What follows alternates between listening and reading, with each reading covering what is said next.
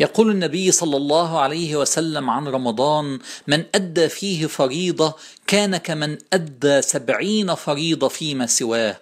في رمضان كل فريضة بتضرب في سبعين الصلوات الخمس مضروبة في سبعين الحسنة بعشر أمثالها مضروبة في سبعين قراءة القرآن مضروبة بسبعين استعد من الآن لكنوز الحسنات في رمضان.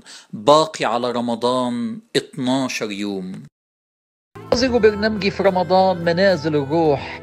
إزاي نتعلم الرضا ونشوف الأشياء الجميلة في الحياة؟